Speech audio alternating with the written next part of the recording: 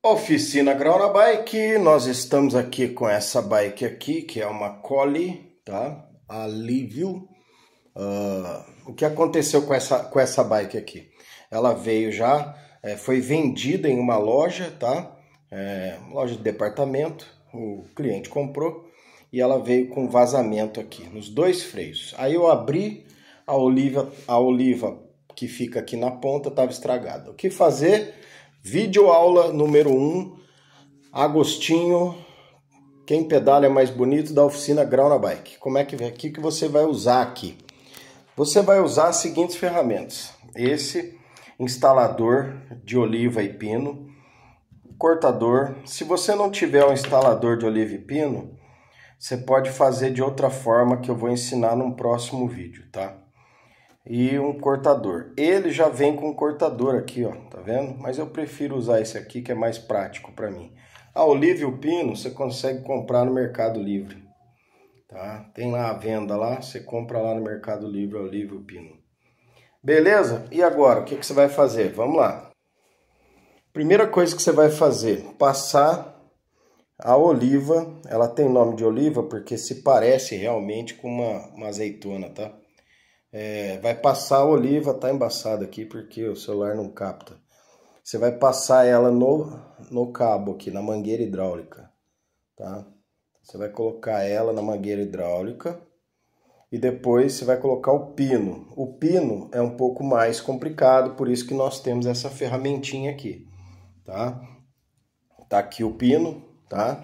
Então, para colocar, para iniciar aqui e inserir o pino, você precisa da ferramenta. Eu vou precisar das duas mãos, então eu só vou filmar daqui a pouco. Pera aí.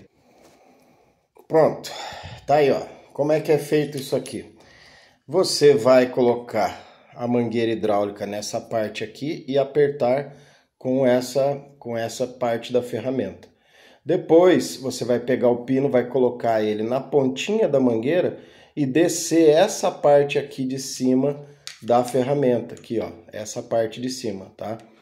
Essa ferramenta tem para vender também no Mercado Livre, instalador de oliva e pino, tá?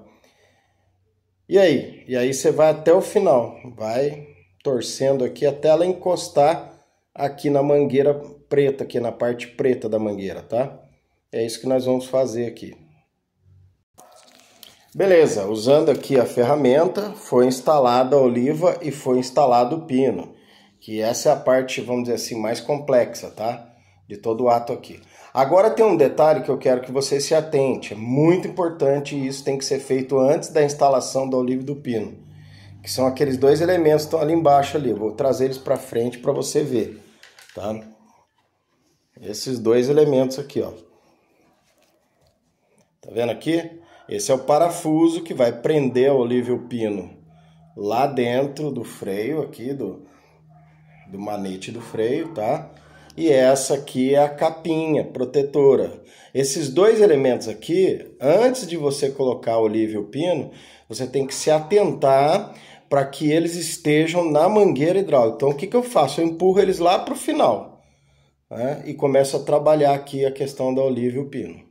Beleza? Grava bem isso. Esses dois elementos precisam estar na mangueira, porque depois que você instalou o Livio Pino, se você instalou sem eles, você vai ter que tirar um pedaço da mangueira e tem que ver se ela não tá, vai ficar curta demais para poder fa fazer tudo de novo e vai ter que gastar mais uma oliva e mais um pino, porque isso aqui não é reaproveitável. Vamos seguir.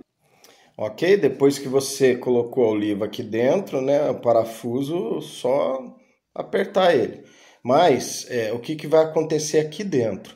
Ele vai, o parafuso vai comprimir a oliva, fazendo ela, ela ser, ao ser comprimida, ela vai se alargar lá dentro, tampando completamente e vedando completamente essa mangueira hidráulica dentro do manete, tá? Você vai usar uma chavinha aqui e vai apertando até que ele fique firme, tá? Não é para apertar até esganar, não.